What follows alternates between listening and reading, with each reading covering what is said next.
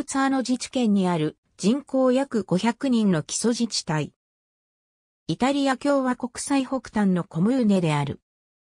古代の銅鉱山の遺跡がある。ボルツァーノ自治県北東端に所在するコムーネである。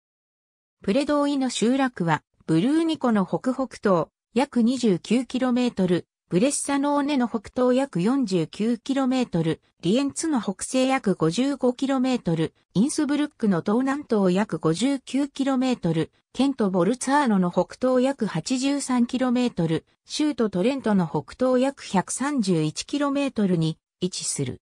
イタリア共和国最北端のコムーネであり、首都ローマからは北へ約 573km 離れている。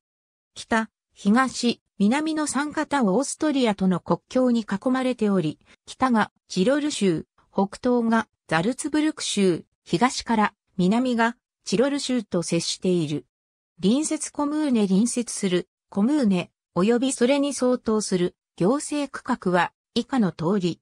AT で始まるのはオーストリア領で AT-5 はザルツブルク州 AT-7 はチロル州を示す。